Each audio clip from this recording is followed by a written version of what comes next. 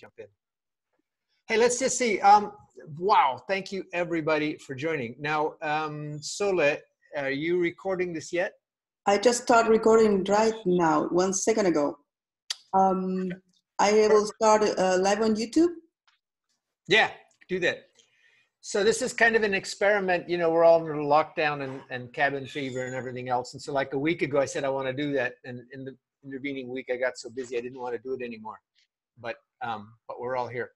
So a couple of things. Um, if you open up the chat, if you can open up the chat, there's a Google Doc, and our question was, how do we how do we moderate for some unknown random number of people you know that could be between five people and 100 people and so we made this google doc and in the google doc it's got space everybody can write in um, and it's got our agenda and all the rest so i have that uh, google doc open here so i can see uh, and then we decided to do a youtube live link and um, we'll probably like try to do this as a weekly thing uh, so first of all I guess, let me see this start, start.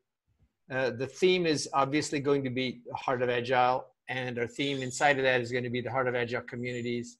And um, surrounding all of that is all this virus stuff going on. So here's what uh, we did in the um, in the Google Doc. Uh, there's a picture of the Heart of Agile with a couple of words added onto there that you'll see uh, dialogue, humanity, and openness, which we'll get to. There's the agenda that we have in mind, nine parts. Um, and because everybody wants to, on the one sense, we're occupied by this virus thing and the lockdown. And, and the other hand, we don't want to talk only about that. So actually, as an experiment, I want to try uh, quite an extended check-in procedure. Um, and some people speaking and maybe everybody writing in the Google Doc. So check in three parts.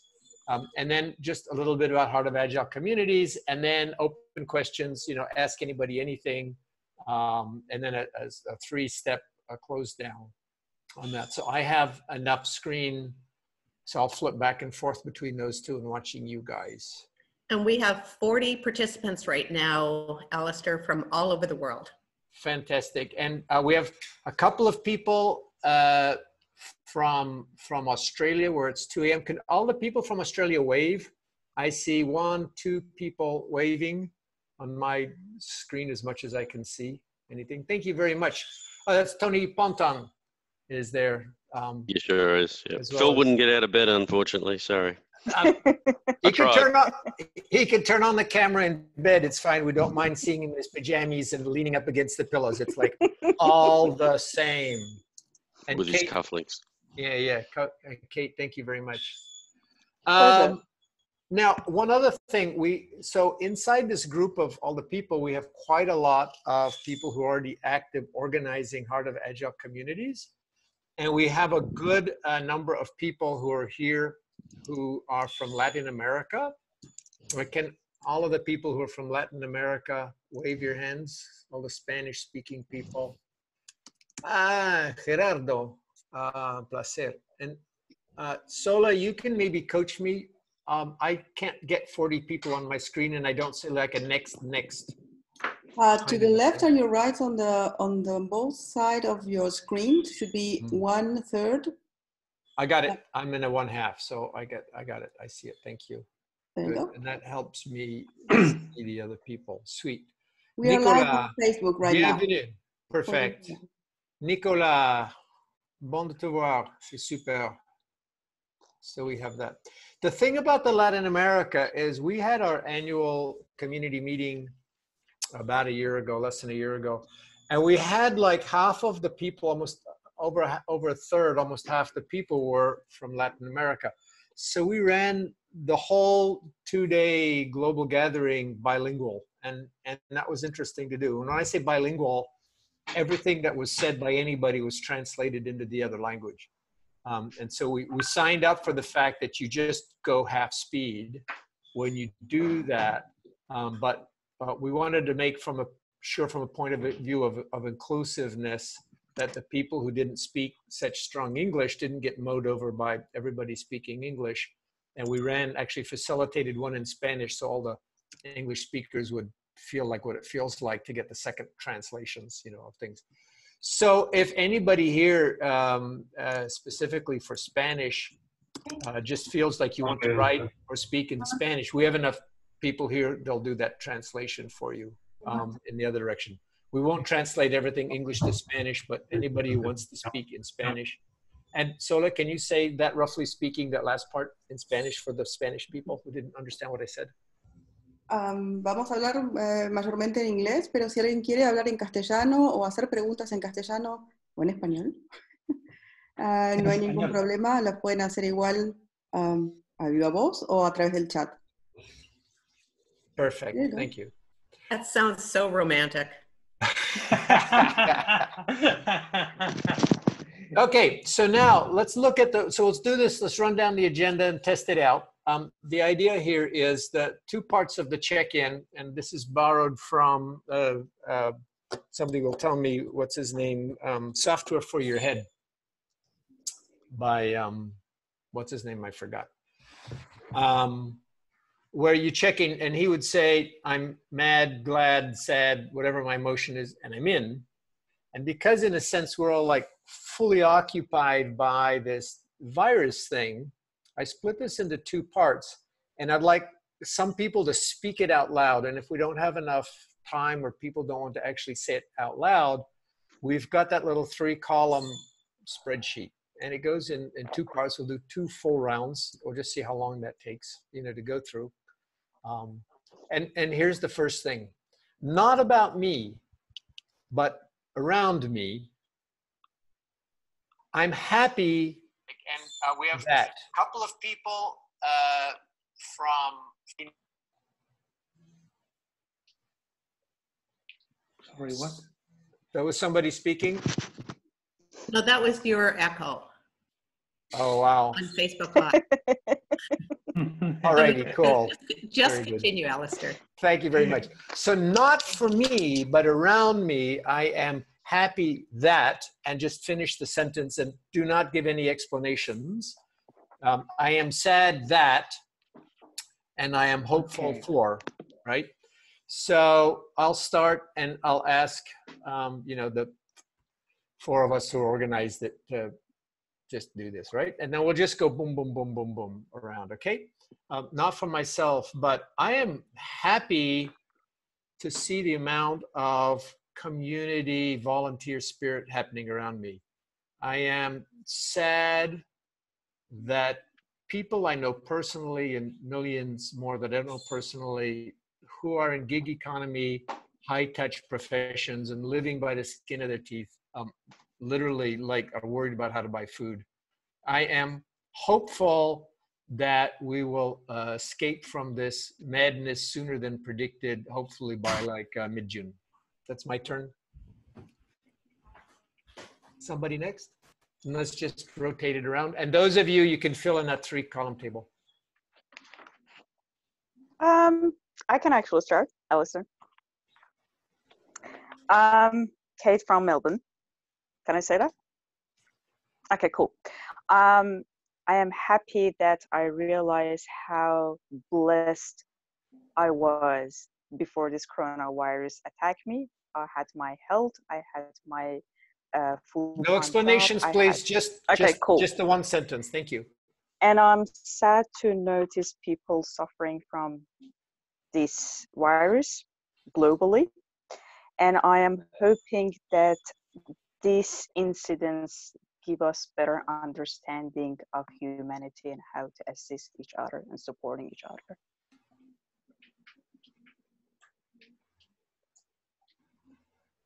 Somebody? I'll go. I am happy that we have the internet and that we can be connected from so many different places at so many different times and see each other in person. Um, I'm sad that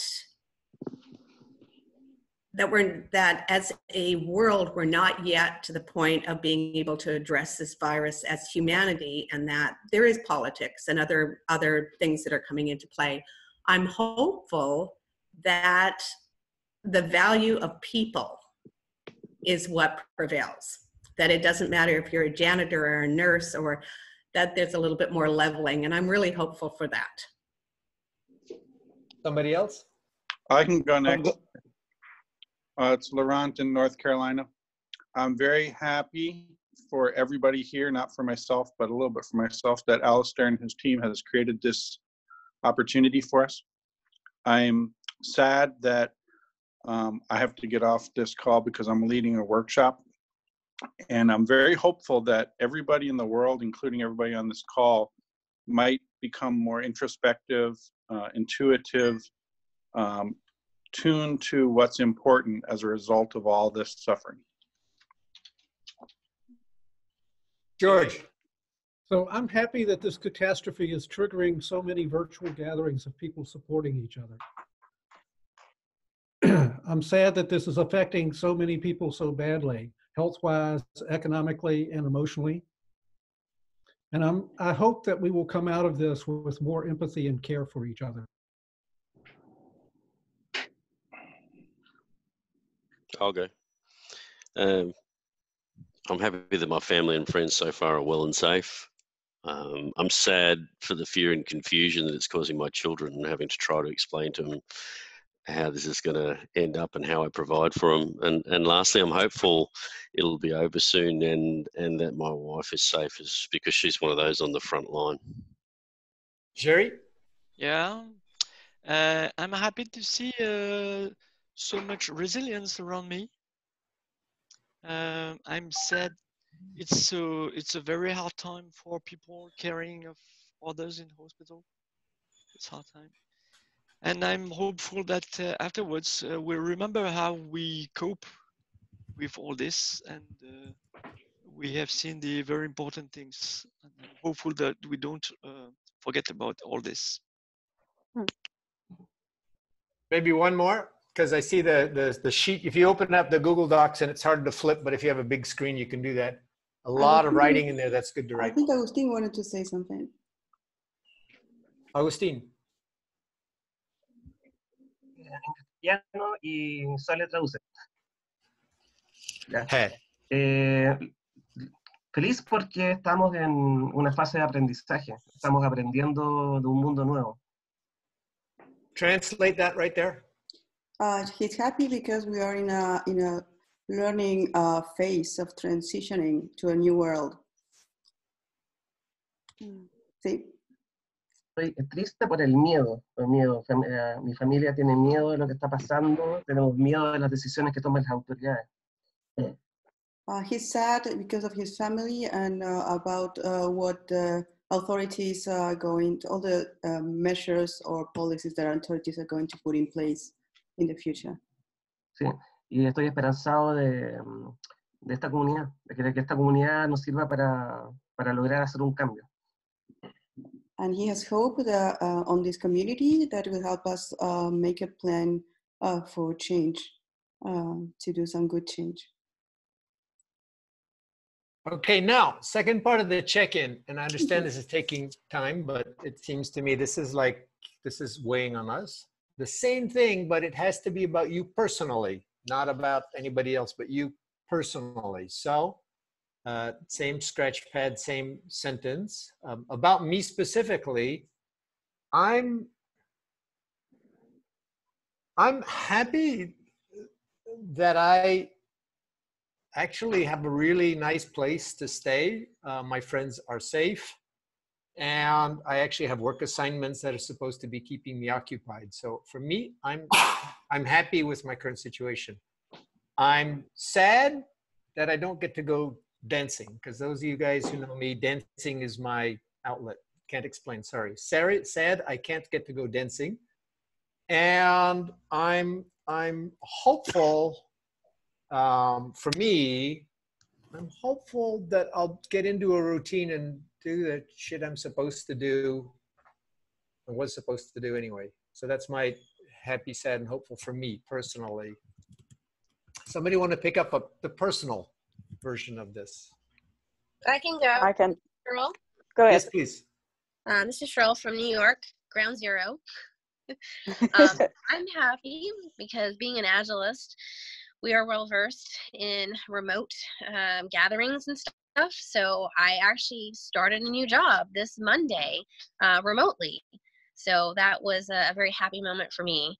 Um, I'm sad over the fact that I feel we as a world were not ready to handle this, even though these sorts of things happen like every hundred years. And I don't feel Cheryl, like Cheryl, I'm going to interrupt you. That was about the world that wasn't about you. What are you Oh, sad okay. about for you personally? Sad about for me i miss the closeness of working with my team members i'm a scrum master so i like being with my team and around my team and i miss seeing them on a daily basis and i haven't even gotten a chance to meet my new team face to face yet since i just started Great. monday And hopeful for you?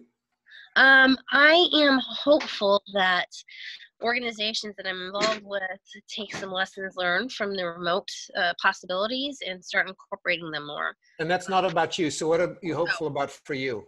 Guys, I facilitate like this all the time. So like, Okay, if you know that's me, you fine. just know this is normal, right? huh i don't know actually i'm not sure on that one I You know don't have to I'm- answer. Anybody can pass on anything. Thanks for I'll illustrating pass that. on that one. Thanks. Uh, I would like to go next. Alistair. Hi, everybody. This is Nupur from Mumbai, India. And my hello to all of you.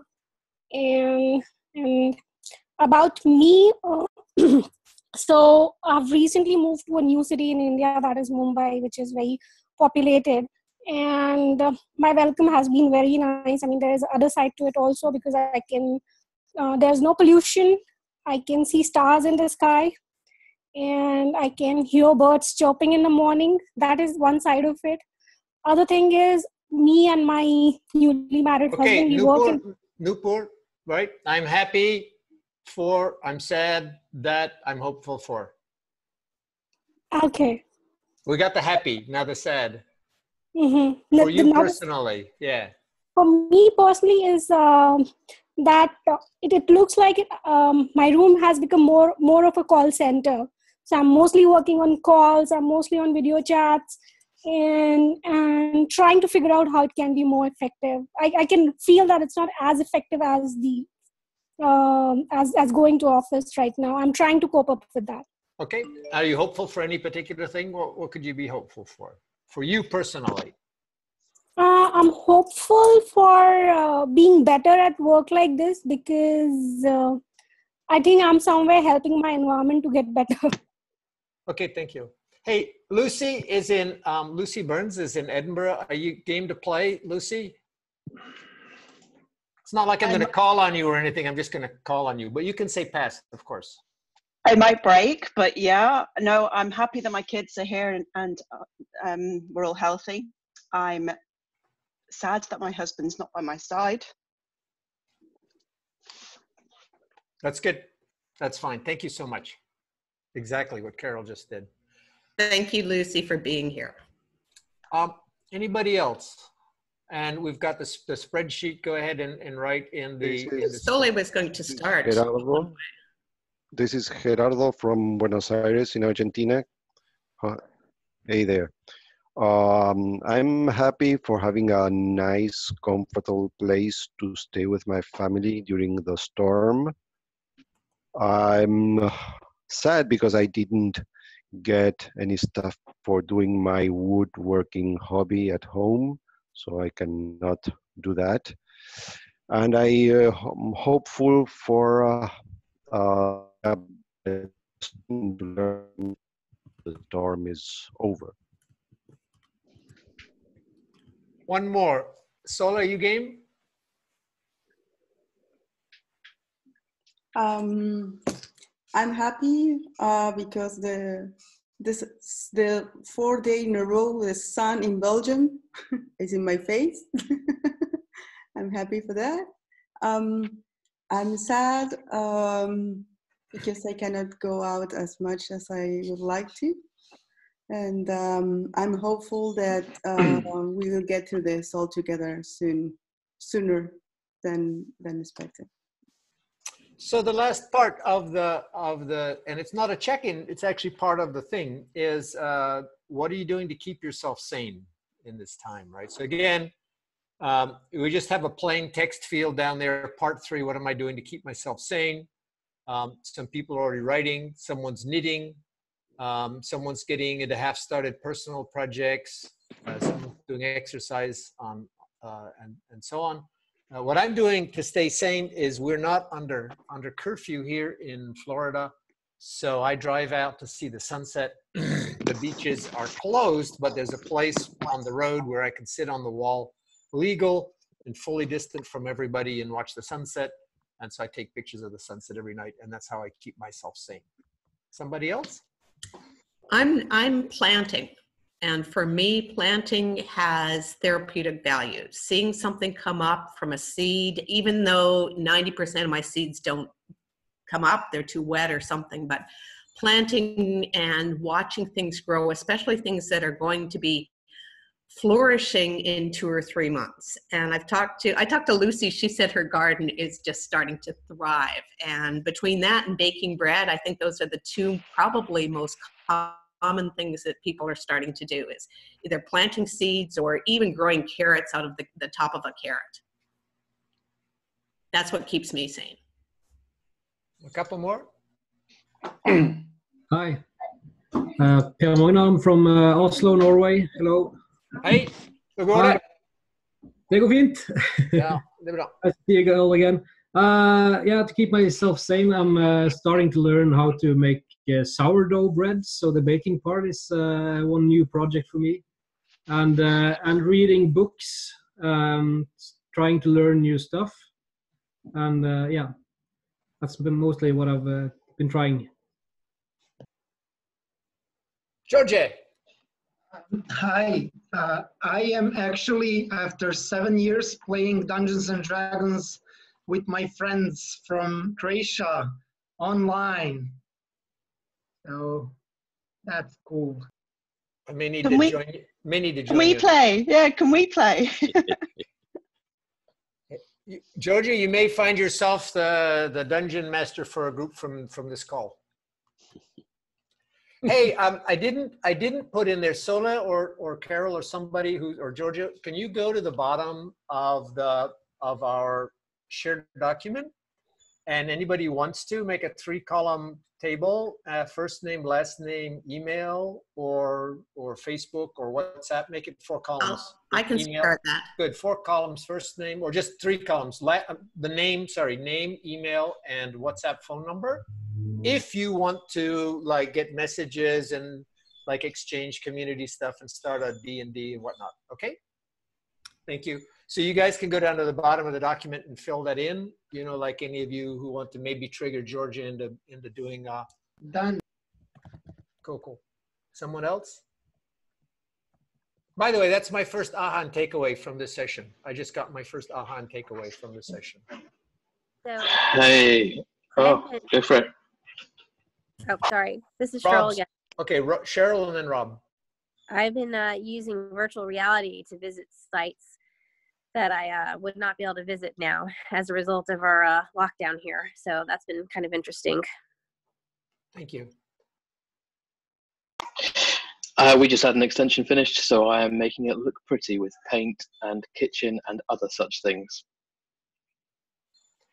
All right, gang. that's that's a check-in protocol, and it took about 20 minutes to do. Uh, the tension that we're running here is, you know, like the the virus thingies on all of our mind, um, but in a sense, we want to get escape from that and talk about something else. Uh, so we have banned topics: no politics, no policies, and no predictions. Um, I'm not epidemiologist uh, or anything like that, so uh, it's no venting about the politics and the politicians, please. No predictions it's going to go up or down, right? None of that kind of stuff. That's not what we're here for. The long extended check-in procedure is to allow everybody to get something out about the current situation so that we can eh, move on to other topics. Is that okay? Good. Uh, Georgia, are you um, able to make that background behind you fill your screen in any particular way or just duck your head down so everybody can read it? right? Yeah, that's the center part. Just like, yeah, there you go. Thank you very much. That's perfect. So Georgia's going to pass the rest of the time like that. No, that's that's sweet. Thank you very much. Uh, so all of you, uh, I guess I should ask, does anybody here not know anything about Heart of Agile? So I don't want to. Uh, Brett Palmer. Yeah. So What I've is it- heard of it. I've seen I've seen it a little bit, but I'm not. I haven't gotten the spiel yet. Good, good. And and Gerardo, how can you not know anything about Heart of Agile given that we shared like a couple of beers and the must have topic must have come up? But okay. So what I'm going to do is say not much about the Heart of Agile, um, but then get into the communities, which is something interesting for us. Um, so for Brett and, and anybody who like literally, psh, you, like, what's this Heart of Agile thing? Um, about five years ago, I was challenged by Craig Brown uh, to do something new. And, and what I chose to do was a radical simplification of agile into just four words. And then we find out that it actually has nothing specially to do with agile. It for sure has nothing specially to do with uh, uh, software, uh, nothing to do with products. It has to do with initiatives of all kinds. And it generally is about how do teams become effective in achieving an outcome in, in any domain, anything, any initiative. So like I'm writing the book on this and I had to get rid of the word project and product and talk about initiatives and what you deliver are decisions that are made manifest in, you know, pronouncements and ads and products and things and you're attempting to change the world. Uh, right? And and so these four words are like so screamingly general they don't even belong to the agile community anymore right? It's, and, and i had a had a choice. I was um, of actually literally calling it teamwork 2.0 or the work of teams or something like that or leaving it with the agile tag. And um, somebody said said don't try to socialize a new term double down on agile. And so it's the heart of agile right? That's that's and, and that's all you need to know. It's in fact all you need to know because you collaborate to deliver you reflect to improve right? And you reflect on all of those four things and you improve all of those four things. Um, the reason you have to deliver is because you have to get feedback from the world. It's not one delivery at the end. Because we're delivering decisions we make decisions errors in decision making at the rate of one in five or one in ten uh, from the very first thing, when you first say, I'd like to change the world in the following way, I'd like people to recycle, you know, use solar, boil water, buy my product, you know, hire me, whatever.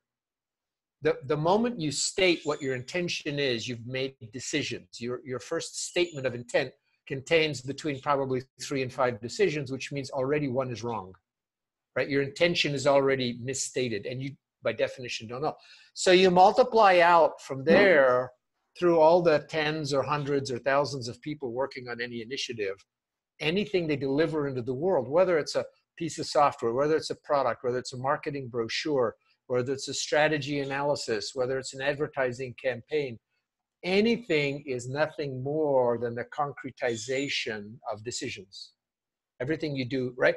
And if you say people are making errors in decision making at the rate of one in five, one in 10, then you see how earlier you have to find the errors so you don't do all the work building on a bad decision and then have to unroll that to back up and then right? You see the point.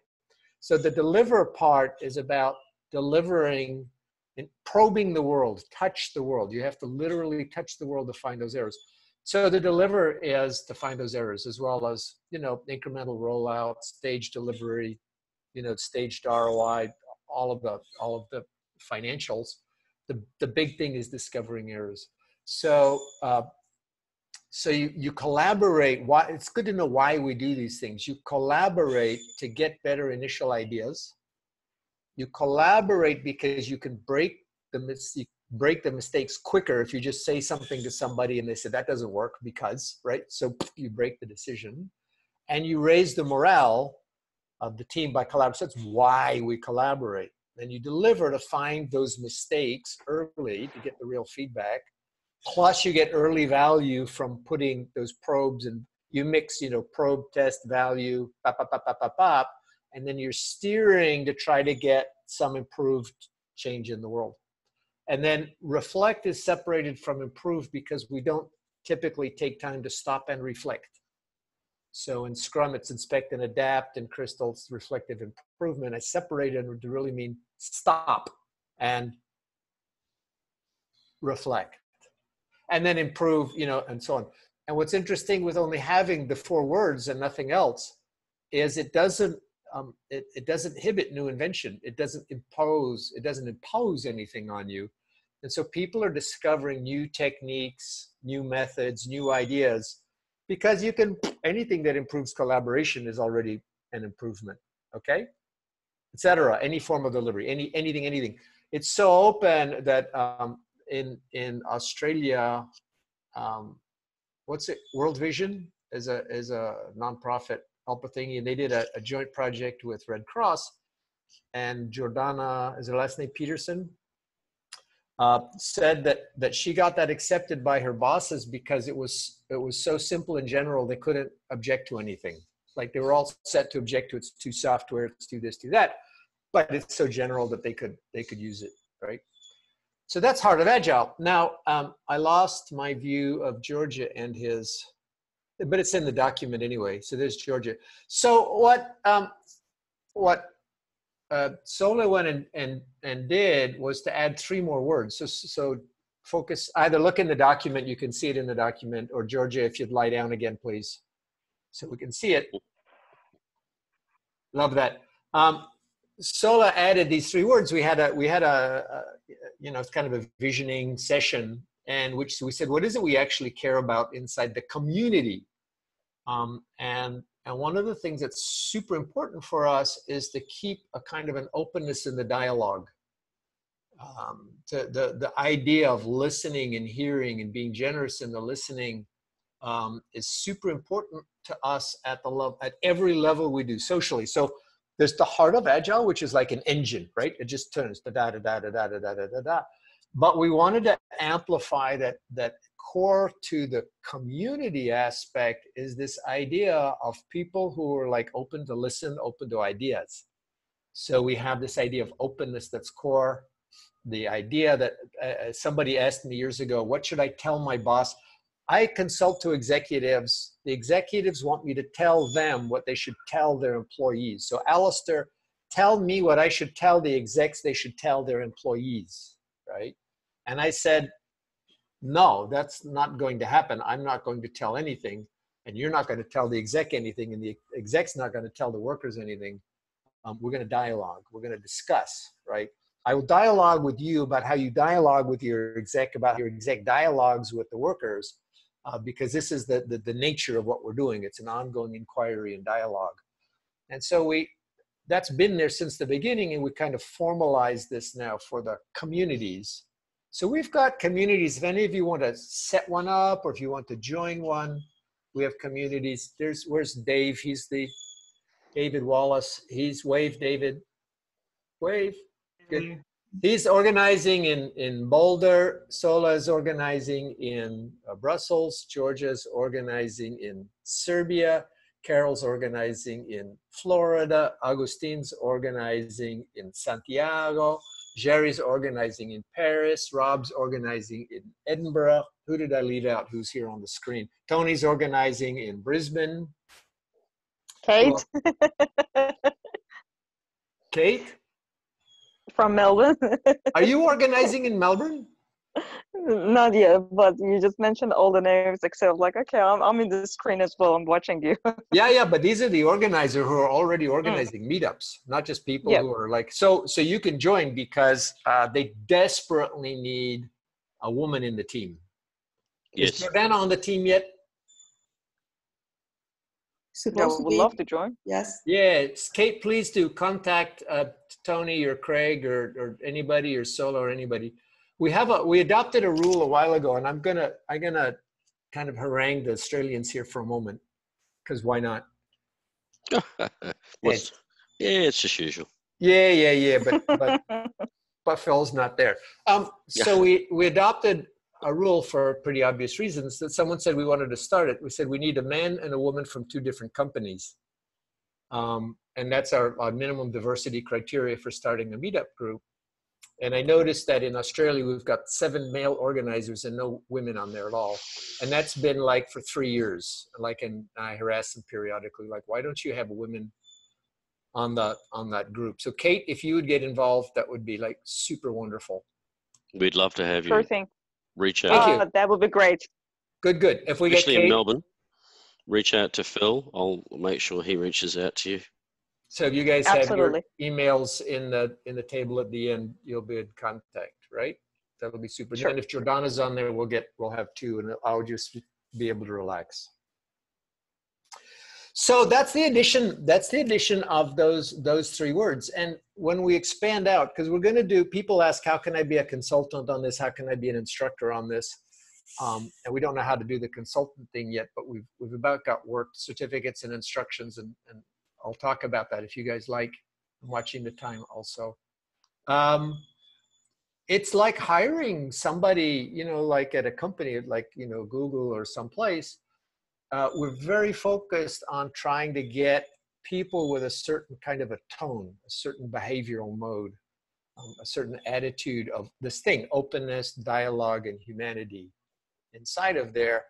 Um, and so it might be that somebody is qualified to teach, but uh, you know, just like if you apply at a team and you get vetoed, people say, "No, I've worked with that person before," right? They're really, really obnoxious or whatever. Uh, then, then you wouldn't get in. So inside of our future plans, as we're as we're growing this, one day there will be a commercial model for this, which at the moment there isn't. Um, this thing about about the personality of the group is the single most important thing to me is that the community all the people who are participating have this quality of, of being in dialogue of, of, of openness so, so we added these three words um, for the communities and i'm glad to get a chance to say that i i sometimes forget to mention that but that's like for me personally the most important thing about the community is retaining this this tone the personality all right. That's enough. That's like too much me babbling. Let's go for questions, if that's okay. Let's go and see what we have here for questions. Hmm. There's that. Okay, so uh, you can write a question in the table or you could just ask and I will ask for the other like people in the Heart of Agile community that offer in their thoughts on whatever your question is. Anybody have a question or a topic you'd like to start with?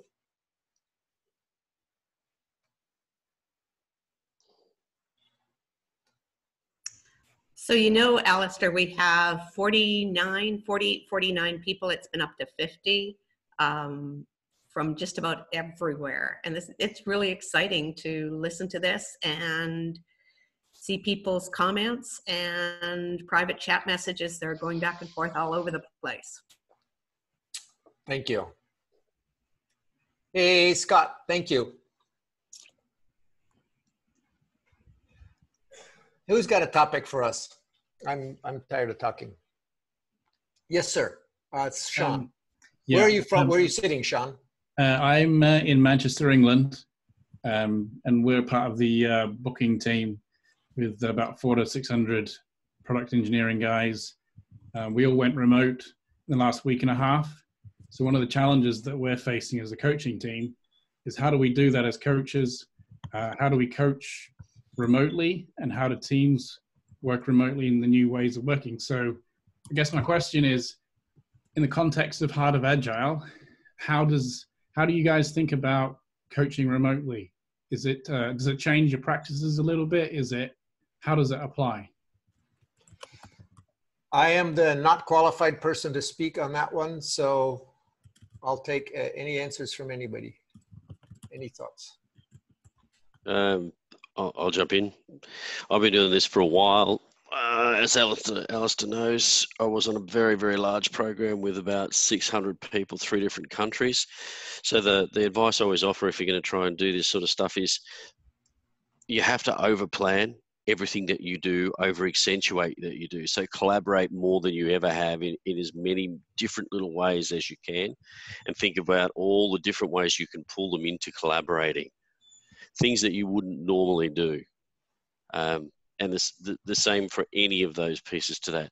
You know, your reflection, how can I get them to to reflect? Because you're not going to be able to see body language. You're not going to see people the way you would normally see them. So you need to drag them in and do lots of different things. Use lots of different techniques to make sure everybody's included.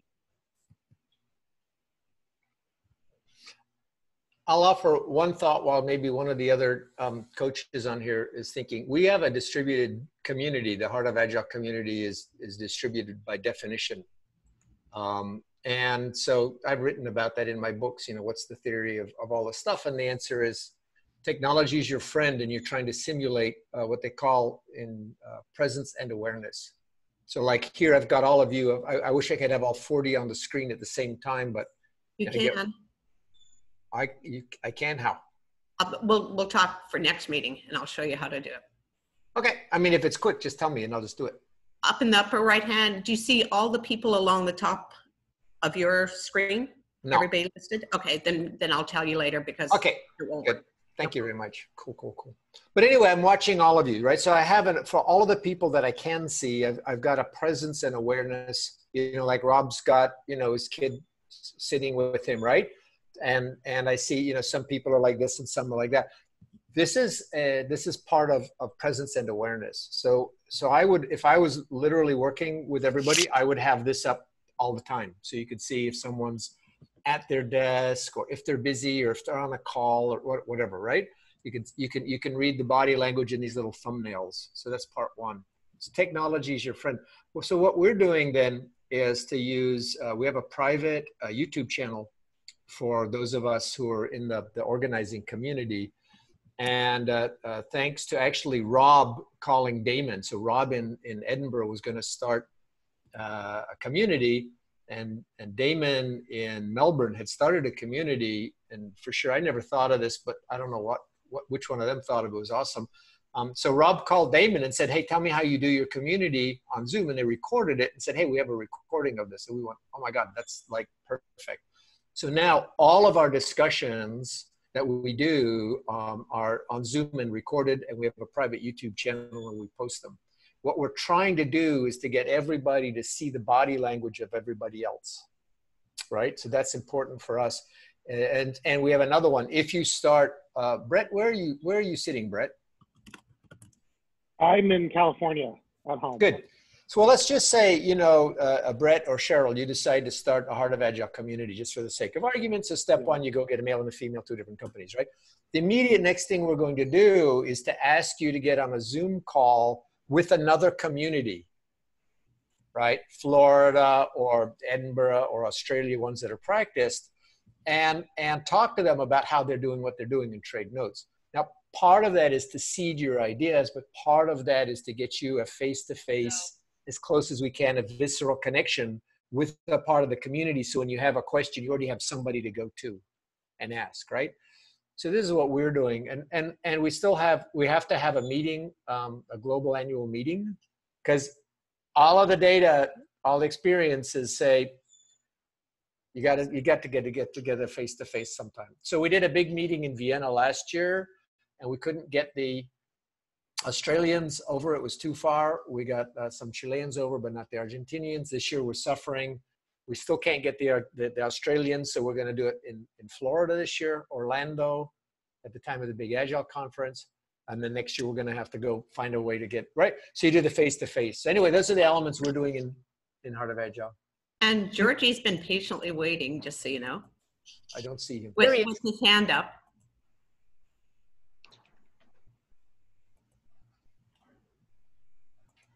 Hey, hey. So uh, what I've been doing with uh, with uh, with a couple of my teams, and as Alistair said, what we were doing as a group was um, the words. For me, the words stay the same. It's just the way we.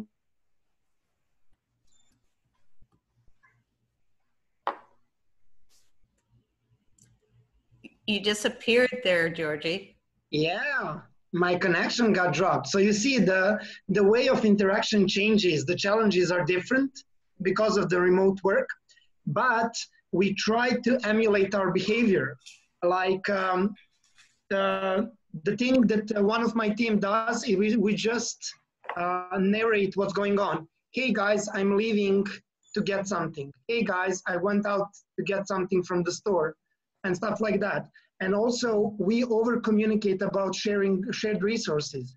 Hey, I'm killing the job and the procedure here and there. So that's one big part of it.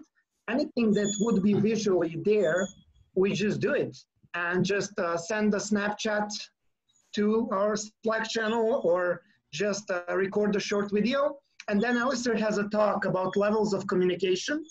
And you know, you have from two people at the whiteboard all the way to a document.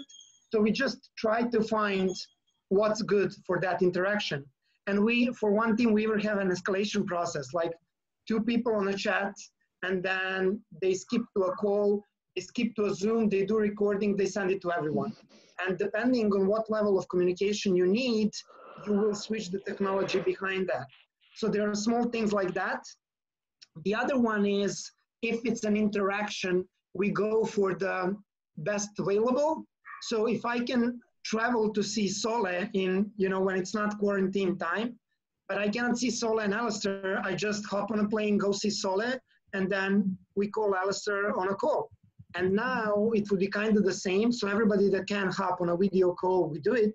Otherwise, we just send info to the chat and say, we will avail be available to repeat this meeting with you later. Okay, so I want to sharpen the question because it was such a good question. And if I was, if I was in that position, I would still be missing some information. So Tony and Georgia specifically, um,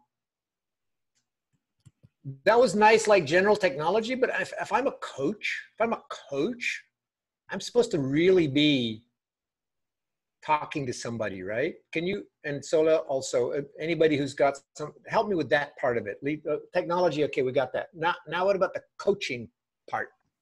Can I give you a, a context example um, of the kind of things I'm thinking? So, coaching a team um, that has a WIP of one that is using single piece flow where they're working as a team, rem- doing that remotely as a coach is really different if you have a team that has a high WIP.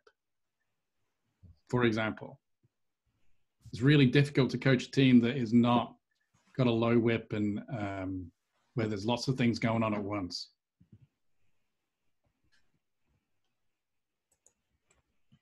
So I can give you two specific answers to that, and you tell me if it if it hits the if it hits where it should be. So one thing, one situation was um, if the team can't slow down and have this conversation online, it will not work.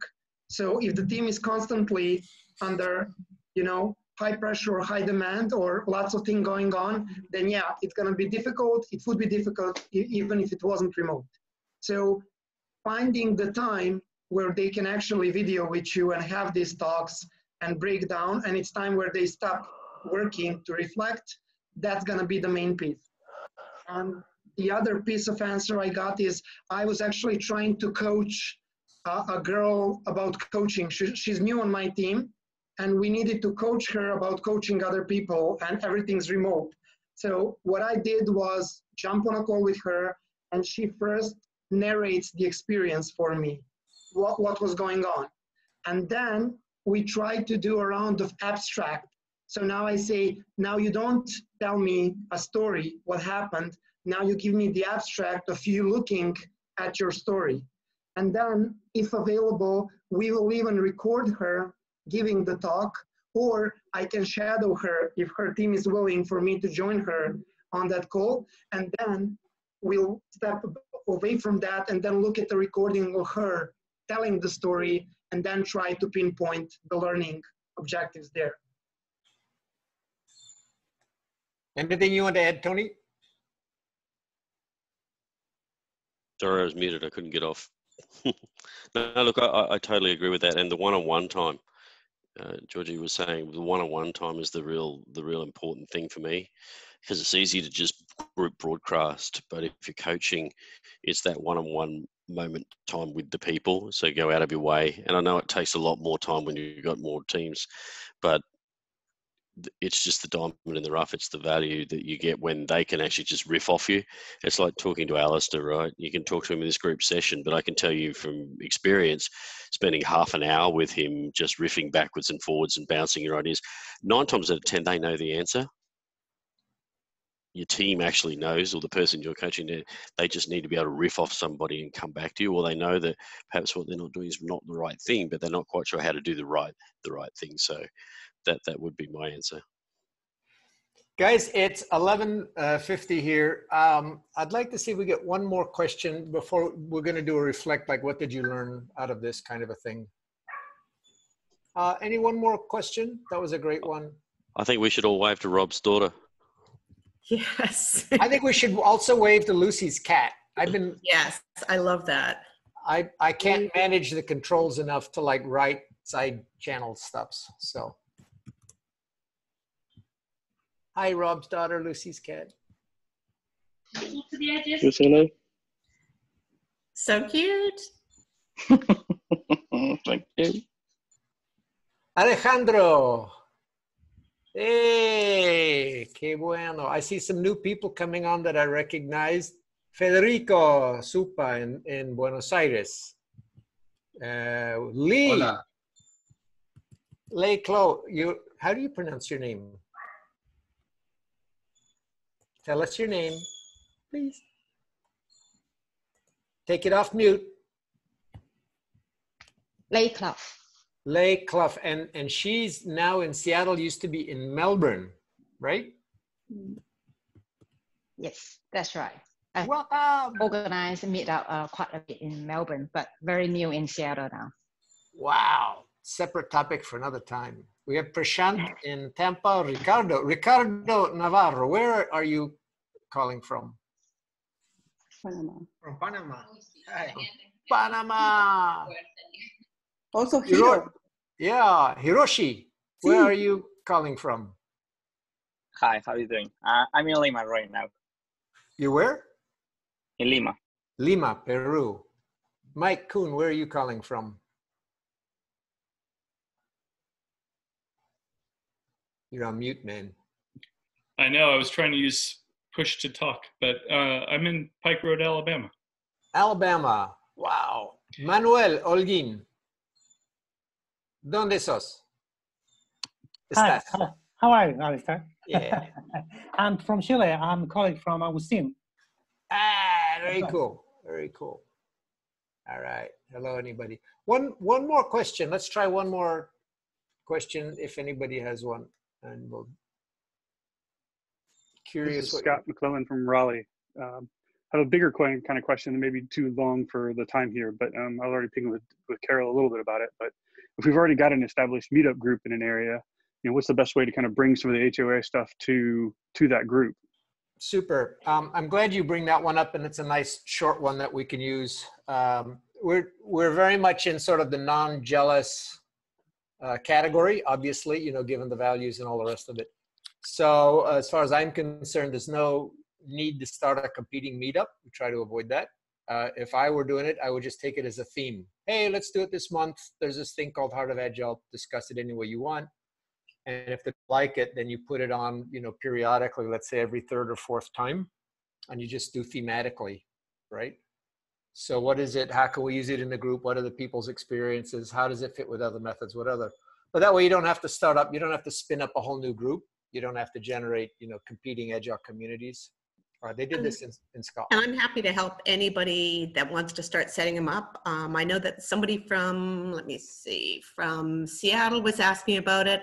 I think that what's going to happen, I don't think we'll necessarily go back to the old normal, but I think that the virtual stuff that we've done and that um, different places have done, especially like Edinburgh, um, Melbourne, some of the LinkedIn stuff that's happened, not LinkedIn, LinkedIn, but LinkedIn in terms of Zoom um, join ins, I think that's going to increase. And I think that what we're doing today is essentially um, what I see as almost part of the new normal for going forward and getting people together that are in, in disparate, faraway places and that are that are close.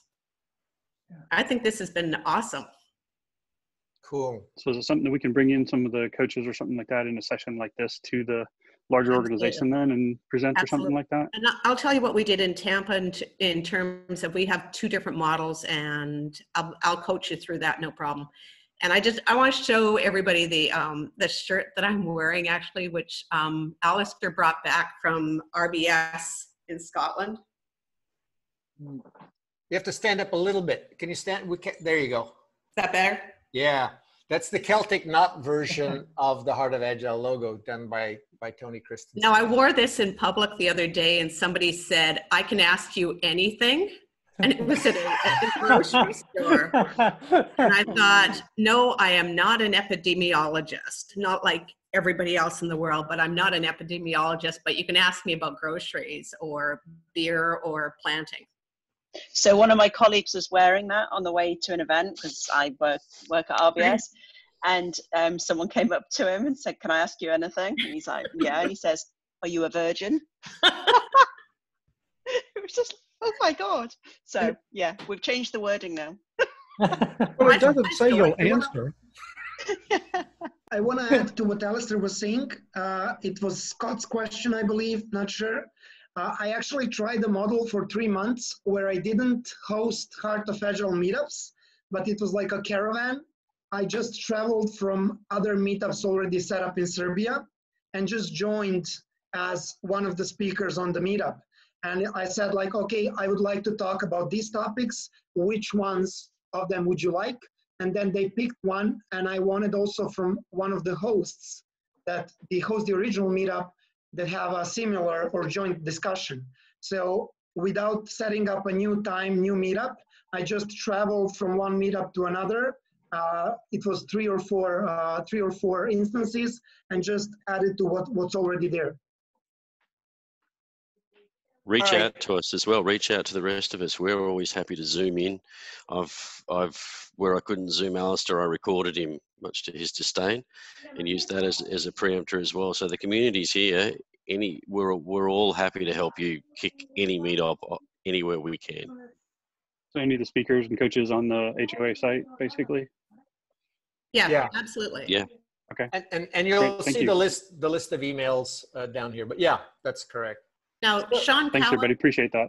Sean Cowan asked if um, he could get a copy of the recording of this and would like to share it with the rest of the coaches here at Booking. And it's going to be, I just asked Sole, it's going to be public on YouTube. And so anybody that wants to share the recording, that'll be great. Thank you. As we, we start the wind down, um, I want to bookmark two things we didn't talk about uh, that are in the questions. Uh, the first is um, we are going to expand out a teaching model. Uh, and I just want to say just a word about that. Um, the, the whole thing about certificates is fraught with peril. Um, and I helped create the International Consortium for Agile, which is a nothing but a certificate certification body or certificates producing a body. So I've been down this path before 10 years ago. Um, and my my reading is that the thing that poisoned the well, because the well has been poisoned, was that the certified Scrum Master is a certification to a qualified role, right? You are a certified X, where X is a role name. That's the poison. So that's what we want to avoid. If you if you stay away from that, certificates in the olden days had a value. You know, you went to a course for two days, you got a certificate for completing a course. You needed that for, you know, for your HR, for your promotions, for your education record. It was, it's, it's a valuable thing. It's necessary. It's fine. It's not a problem. You know, I used to give courses for use cases and whatnot and whatnot. The thing that was bad was, was that caused the inflation was saying a, I, I am now a I went to two day class. I am now a certified Scrum Master, and then you know, then we get the plethora: a certified product owner, certified coach, a certified this, a certified that. So the thing to avoid is just saying "uh," right? So if we do that, and the other thing that's problematic in the Scrum community is they have 300 plus people teaching the same curriculum, all all fighting each other to, to teach a certified scrum master class and that market saturates is saturating. So those are the two errors. So if we get away from those two errors and we look at, at just like the fact that someone took a course as a, as a meaningful certificate to own um, and we take a look at the heart of agile we don't need 300 people teaching the heart of agile four words but each of the four words contains a whole university behind it. So, for instance, inside of deliver, you can drop all of Lean Kanban University just inside the internal aspects of delivering, right? You get all of Lean Kanban. The whole Lean Can University just fits right in. Just drop it in there. You get all of the modern product management feedback stuff, Melissa Perri, Teresa Torres, in the deliver for learning aspect of the delivery. You get all of all of clean language and solution focus inside the reflect and improve portions. You get um, uh, HR people who teach about how to how to facilitate, how to offer crit criticism, you know, feedback, how to absorb criticism, all of that. So so basically, there's like an infinite number of courses available, uh, techniques um, that fit behind these four words. And so the model is this: that we are going to have um, a special like level certificate level K. What the hell does K mean? I don't know, but it's a letter um, where anybody could could teach a course that that we like pretty much any course literally could fit behind the four words. What we'll look for is what are the personality characteristics of the teacher? Do they know about, enough about Heart of Agile? Can they teach? So we could have a we could have a offering constructive criticism course taught by somebody. We could have a clean language course taught by somebody.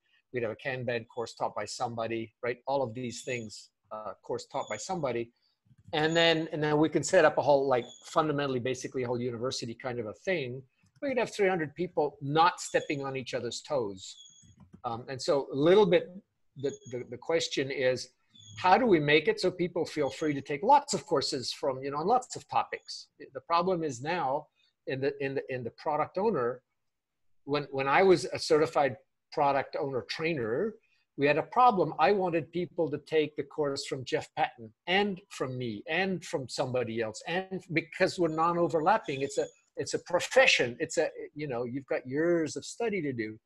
And so the way we're going to go is that there will be um, currently we're just limited literally by the fact that um, we can't generate certificates automatically off of our website. So you need that thing smooth, you know, upload, send out certificates but that's the path we're going to take. So if any of you have interest, stay tuned on that. As soon as we get the technology stack, you know, figured out, we can go through this. And we also don't know how to interview people for personality, but for instructors, it's less damaging than for consultants and so on. So, so Alistair, can I interrupt you? Um, we're now at 12.03 Eastern Daylight Time, and yep. I know it's probably 3 a.m. for Tony, who's kind of almost nodding right off. And um, Kate did do some major yawning, so, so, I'm glad you're still with us, Kate. Um, if everybody can kind of bear with us for 10 minutes, and Alice, yep. want to just follow up, and we're going to do this again next week. So let's right. So let's go down the end of session um, reflection. Uh, so let's do this like we did the the opening.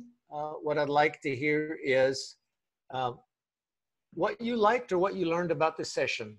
Can we just have, you can type it in the, in the Google Doc, but I'd like to have some people say it out loud. Either what you liked or what you learned about this session. Can I start? Uh, I liked everyone being super mindful and not talking over each other and uh, respecting and listening. Huge like.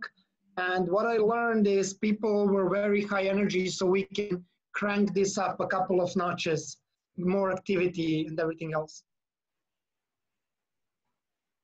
Somebody else?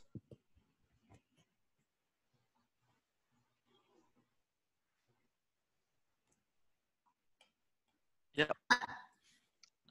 Um, what I liked is uh, you reminded me of the check-in protocol. So I'm glad to uh, to reuse that very soon to try it and uh, I've learned uh, how to to run a group without room. A very simple thing, and a Google Doc for a very simple collaboration. So I learned that. That's simple. Thanks. Uh, one of the things that I learned was, um, Alistair, your, your, your answer presence and awareness, I think really summarized for me some of the things that we need to be doing at Booking if we're going to remote coach effectively. Um, and some of the other answers, um, they validated some of the things that we're already thinking, and I think they added a few things to it. Um, so we should be able to apply that, and that's been really helpful. Thank you. Um, and by the way, we do this at the end of every meeting I've ever been in for the last 20 years. So if you're new here, if you ever come to one of our sessions, we normally do a full round robin where everybody has to say, like, if we do this in person, you can't leave the room till you say what you learned. Because if you came here for an hour and you didn't learn anything, then it was a waste of time. Um, and so maybe it's a good idea when you when you get an aha in the middle that you write it down because sometimes like we literally call on people and say, what did you learn? Like otherwise, why did you bother to come here? Are there any others who want to volunteer?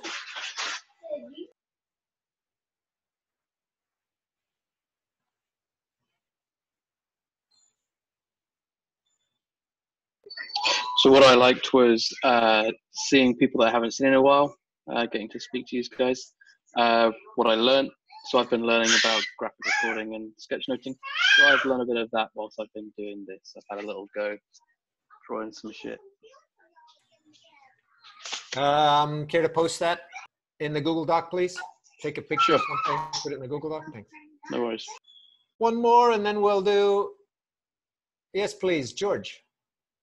So what I learned is that uh, your vision of Heart of Agile is more open than than I had imagined it was, and that excites me. Um, and I can, you know, I can see where a lot of the the uh, satir stuff I've been studying fits into here also. Bring it, man, bring it. Hey guys, so um, the last thing, which I don't need to do um, out loud, but if you'll be so kind and look at uh, the last two bits of the of the Google Doc. Part seven says topics I would like to hear next time, so that would be a good thing. And then this is our first time doing this, so uh, bright ideas for managing the space, right? So this was our like, how do we make this work? And we don't know how many people. This scaled to 40, no problem. The Zoom plus the Google Doc. If any of you have any bright ideas on what we could do uh, next time to make it better, more interesting, whatever, uh, then that will be super. Is there anything else? Um, it, it, we're going to do this again. I'm unfortunately on the hook to do this in Spanish for Latin America, in which presumably I'm going to speak less because that's too painful for people to listen to. And yeah. um, also at a different time so we can get the Australians a more comfortable time like 9 a.m. or something your time. Uh, so that's, I will publicize that. What about so if you just fill those things in the Google Doc. Anything else, Carol, Sole, that I need to, to pick up before we go? Scott, were you saying anything? I was going to say, why for the next one, why don't we all uh, make a Heart of Agile badge? Like a, we're doing a lot of craft work with my children this week. Why don't we all craft our own Heart of Agile badge and wear it? So, so Scott, I, I hear that. Um, and if, if I could convert that, I think it's an invitation for those who like to do craft stuff to do such a thing, and that'll be fun. And, and not at all an obligation for anybody, because I, Oh, for for one, I'm not going to do it. Yeah, So- that was my suggestion. Any, yeah, anybody can pass, but that would be super cool uh, to do that. I'll wear the Scottish version. Yeah. By the way, um, Scott, if you'd be so kind and put that in on the Google Doc, if you have the link. So we'll see that. Otherwise, it's um, like 10 after. Should we do this? Uh, question. Um, while I've got this particular group here, last question. Uh, same time next week or different time or something?